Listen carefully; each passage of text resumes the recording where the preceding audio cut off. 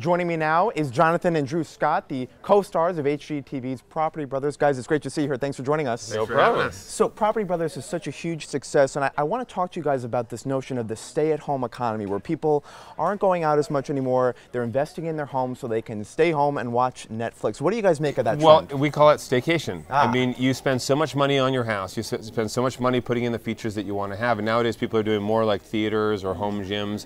If you're spending all this money, then why spend more money to go away on a vacation to some other property when you can actually just enjoy Or time maybe together at people home? are just less so. Maybe people are antisocial these days and they want to stay in their home. I don't know what it is, but at the end of the day, if you're creating these spaces that basically make your homework harder for you, I think that's what it's all about. Your home should make your life easier. And what are some of the interesting features that people want, right? I mean, you guys were talking earlier about, you know, a self-flushing toilet. I mean, it's Yeah. bizarre. Who doesn't want a self-flushing toilet?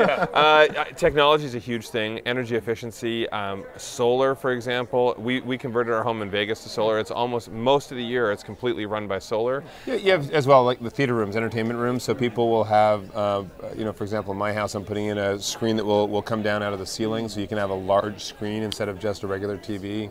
And then being able to c- control things remotely, you know, whether you want to change temperature, turn lights on and off. Just don't do what Drew does and freak out his fiance by remotely. He'll be in another city and he'll have a TV go on in another room so she hears voices and Just lights mess coming her on. mind. Like, hey there. He's going to be single very soon. Yeah. Let me ask you, because every homeowner has a wish list, right? They want, you know, this type of flooring or this type of countertop. How is the wish list different for men versus women? Okay, first off, I'm going to tell you uh, the wish lists are always here for budget, and then what they can afford is always here. Um, I, I would actually say that guys think, for example, like a contingency. Your budget, you have your budget, and then you have a contingency for any problems that come up during a renovation, for example. Or if you're purchasing a place, you always have a little bit of a buffer. Guys think that's for a big screen TV. Women are usually a little bit more savvy, but they also think about the family spaces of the home. Um, Everybody adds stuff on. Add-ons are out. Even Drew. So we're renovating Drew and his fiance's house right now in Los Angeles. They're doing add-ons because once the space is coming together, they're like, you know, this would be really cool. So you have to really be diligent when you set your budget and understand what's going into it and understand what things you could always add down the road that aren't going to cost any more than they would right now.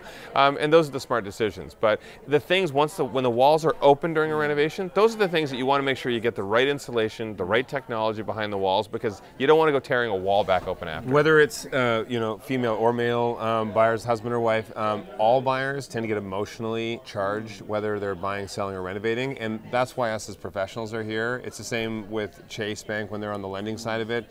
All of us professionals are here to try and pull the emo- pull the emotion out of it, give you that third party opinion as to what you can do to protect yourself, and bring them back to reality. and then bring them back to reality. That's exactly it. You can't make emotional decisions with the biggest investment of your life. Now, what is your advice for the millennial homebuyer? We know millennials obviously are burdened with student loan debt, credit card debt. It's hard for them to be able to save for a down payment. It is. So looking at creative ways to get into a home and don't never be desperate to get into home ownership because that's a great way for you to guarantee you'll fail.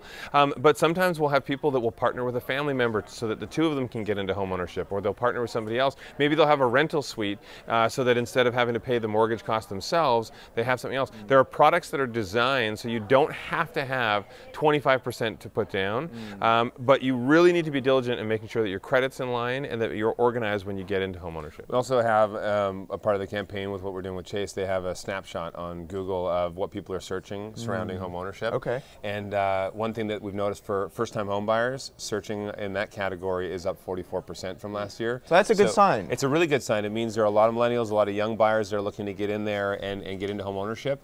And the one thing to keep in mind is that not every product is right for every buyer.